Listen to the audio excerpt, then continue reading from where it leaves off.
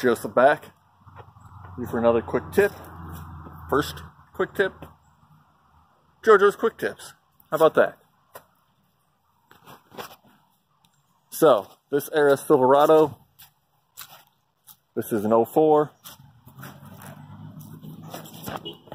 That's 99 to 06, I believe. The O2 sensor on the passenger side, when it gets wet, causes uh, misfires really bad. Rain, moisture, anything. Mine is currently broken, so it's not plugged into anything.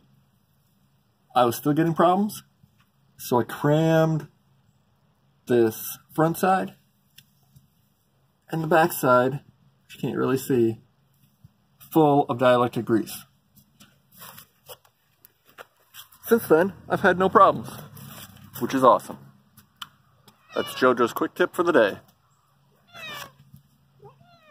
Featuring Pearl, the probably 22 year old cat. Keep working on your junk, keep finding new things, break something. Yeah.